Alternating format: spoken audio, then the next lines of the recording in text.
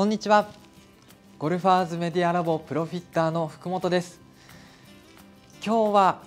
こちらのスリクソン ZX ドライバーについて皆さんに、えー、紹介していきたいと思います。で今回のこのスリクソンのドライバー非常に話題になってますよね。やはり発売して少し経ちますが使っているお客様の評判を聞いても5、7ともにかなり、えいいと。そしてあの松山プロもいよいよこのスリクソンのドライバーを使用してきたということでかなり話題になっているドライバーですよね。そこで今回はこの ZX のドライバーどれだけすごいヘッドになっているのかそこをまず最初のここですね。評判のこの ZX は究極のコンポジットドライバーそして他社メーカーのいいとこ取りとあるんですけれどもまずはこの ZX がいかに素晴らしいのかそしてそれがなぜそうなっているのかというところを説明させていただいてそしてその次にじゃあそのいいドライバーをですねどのように選んでいけば使っていけばいいのかっていうことを2つ目にお話ししていこうと思います。でここにも書いてあるんですけれども知っておくべき注意点。これはもう皆さんにぜひ伝えたいと思いましたのでぜひ最後までですね、えお付き合いの方いただければと思います。よろしくお願いいたします。それでは早速この評判の ZX なぜ究極のコンポジットドライバーと、え僕がこう書いたのかと言いますと下にもある通り今回この ZX のドライバーは他社メーカーのいいとこ取りをしているんですね。でそれをもう最初にお伝えしていこうと思うんですが今回ある3社のメーカーのいいとこ取りをしています。まず1つ目はキャロウェイです、はい、でこのキャロウェイの要素がどこに取り入れられているのかと言いますとこれヘッドを見ていただくと上からですねもう気づいてる方もいるかもしれませんがキャロウェイの顔つきにそっくりなんですね。僕もこれ構えた瞬間にあもうこれキャロウェイだなっていう感じにもう思ったんです。で今回このなぜキャロウェイの顔つきにしてきたかと言いますとあの松山プロが、まあ、スリクソンアイアンは使ってるんですけれどもずっとドライバーって、えー、いろんなメーカーを使ってきていたんですよね、まあ、その中でも過去にですねグレートビッグバーサードライバーを使っていて、まあ、エースとして使っていたんですが、まあ、割れてしまったということでかなりこう松山君も愛用していたドライバーだということですよね。でその松山プロが選ぶ基準としてもう顔つきもうそのフィーリングですよね、えー、ってかなり重要視されているんですね。で過去にも、えー、スリクソンの745出ていたんですけれどもそのドライバーをじゃあテストで使おうとしていた時に置いた瞬間にあこれダメだなって思ったらしいんですよ。で打ちもしないでそのスリクソン Z745 を使わなかったみたいなんですね。でそれっていうのは顔つきもやはりそうですしあとその当時あのスリクソンのここの真ん中にウェイトが入っていたものだったと思うのでそこが少しこう座りですよねそういったところもかなり気になったんじゃないかなと思います。で今回この見た目からまずキャロウェイにしてきたっていうのはとにかく松山君に使ってほしかったっ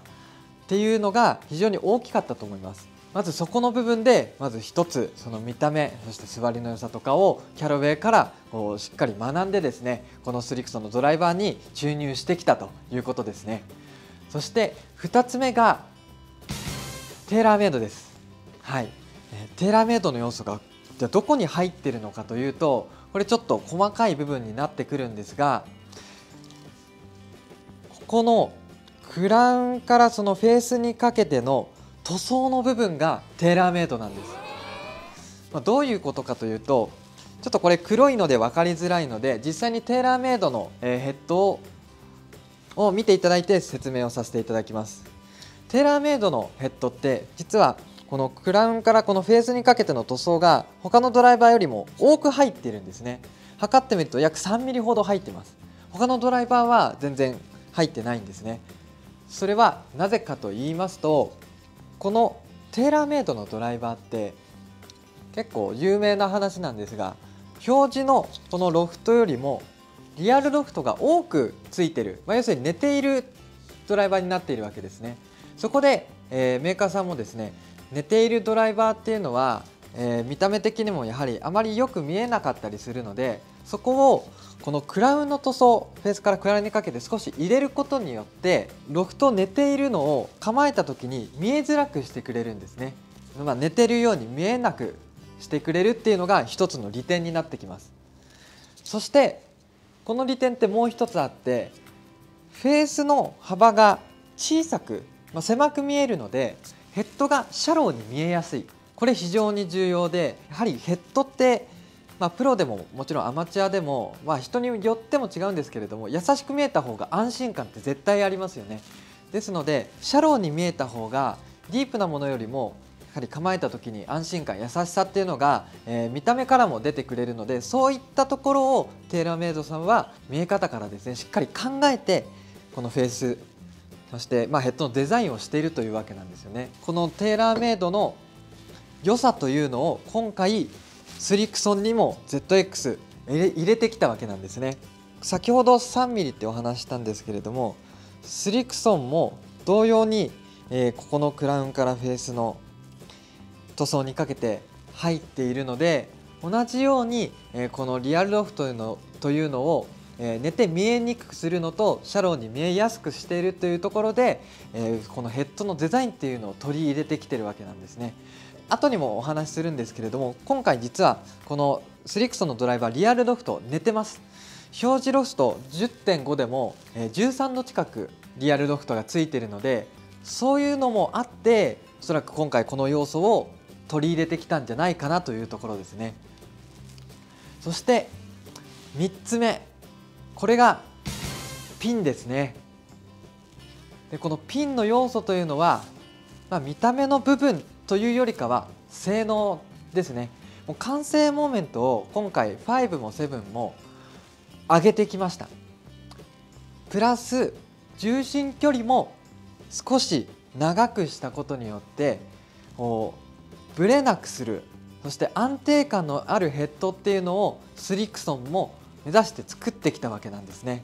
ですので今回このスリクソンの ZX ドライバーというのは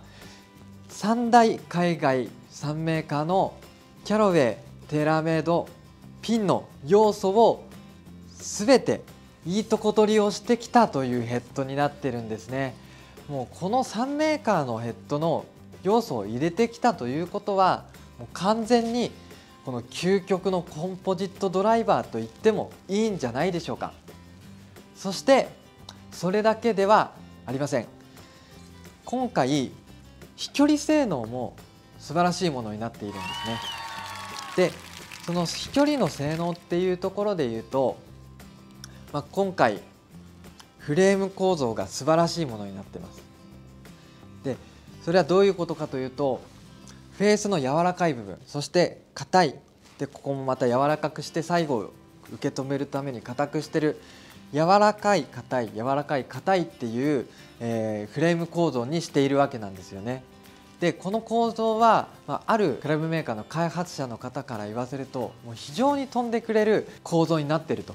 もう初速は間違いなく出るであろうという構造になっているので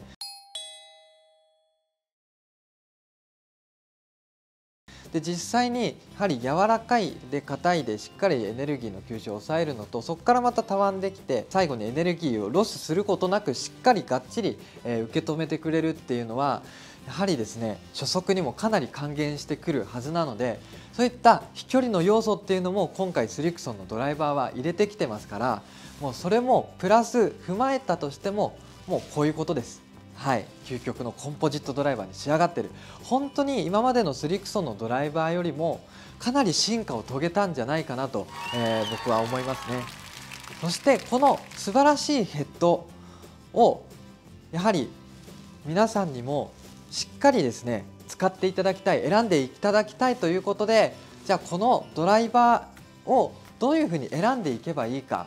というお話をこれからしていこうと思います。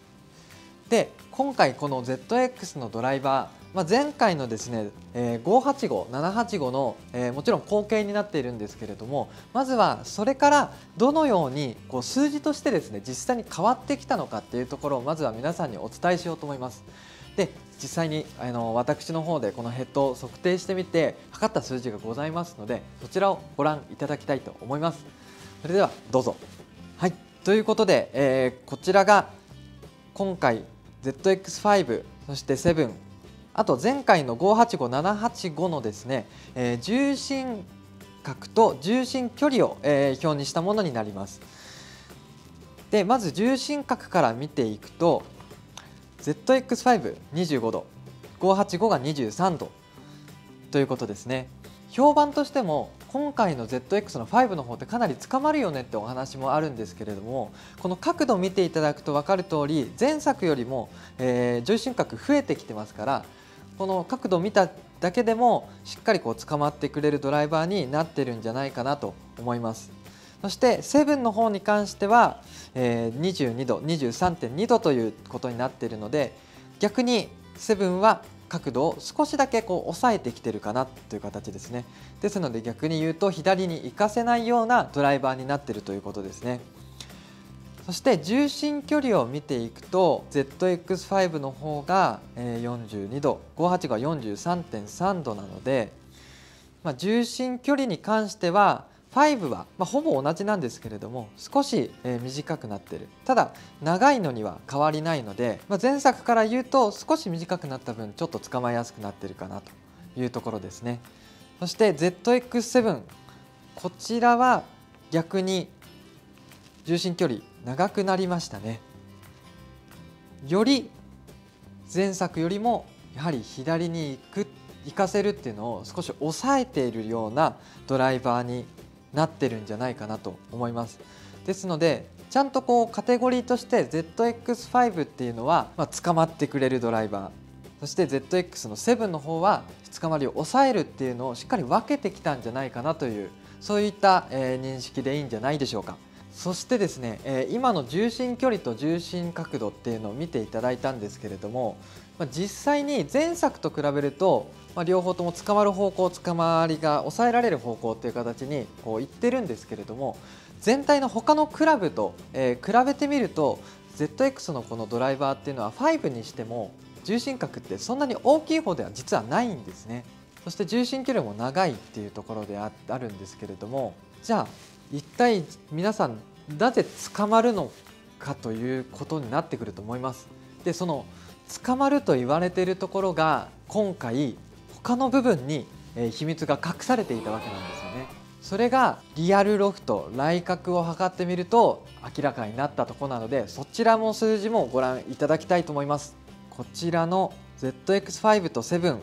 リアルロフト来角を測ってみたんですけれどもロフトが13.4度そして来角が62.8度というリアルの測定の数字になってきてるので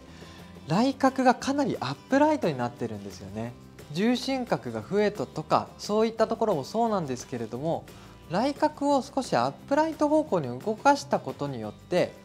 今回捕まりというのを補ってきているんじゃないかなと思います。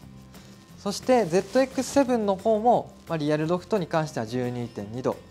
えー、来角は63.2度というところですのでこれも同様に、えー、数値が動いているのが分かりますよね。ただこの来角というのは、まあ、当店ではスコアラインを基準にして測っているんですけれども、えー、メーカーさんはですねこの来角おそらくソール基準で測っているんじゃないかなと思います。とてもソール基準で測った場合、えー、60.7、60.8度という測定値になっているので、まあ、今回のカタログ値だとこのドライバーは59度の来角になってますから、まあ、少しアップライトに出てるんですけれどもおそらくそちらの方で測定をしているんじゃないかなと思います。ということで今数字をご覧いただいたんですけれども、まあ、ZX5 というのはよりかなり捕まってくれるドライバーそして ZX の7はま数字で見ると重心角重心距離っていうのは長くなってるので本当左に行かせないドライバーただ来角がアップライトになっているのでじゃあ捕まっちゃうんじゃないのっていうところはあるんですけれどもそこがここなんですね。知っておくべき注意点ということで実は今回ですねあまりこう公にというかメーカーさんもそこまでこう歌ってないんですけれどもある部分が変更されたんですね。でその変更点というのがここのスリーブになります。はい。スリーブ何が変更になったのかと言いますと前作とこのスリーブの位置自体が真逆に装着されているようになってるんですね。以前のスリクソンのドライバーというのは実は後ろが今回フラットって書いてあるんですけれども